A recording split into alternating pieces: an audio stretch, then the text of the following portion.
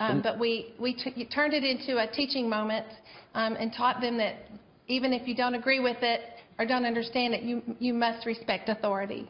Absolutely, and I saw you did that. We could all see that you stopped just when he told them to.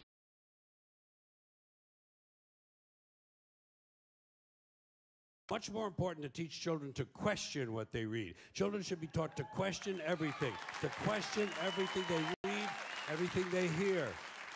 Children should be taught to question authority. Parents never teach their children to question authority because parents are authority figures themselves.